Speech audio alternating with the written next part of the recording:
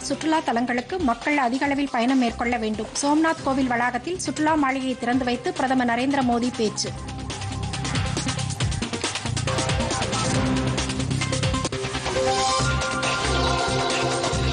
உலகின் பிரபலமான தலைவராக பிரதமர் நரேந்திர மோடி மீண்டும் தேர்வு. தனியார் நிறுவனத்தின் இணையதள ஆய்வில் தகவல்.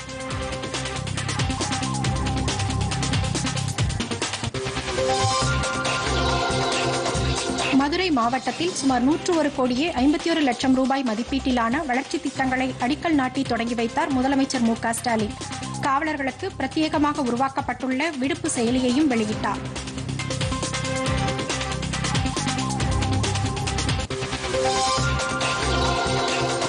தமிழகத்தில் பிப்ரவரி ஒன்று முதல் இருபதாம் தேதி வரை ஆன்லைனில் செமஸ்டர் தேர்வுகள் நடத்தப்படும். உயர்கல்வித்துறை அமைச்சர் பொன்முடி பேட்டி.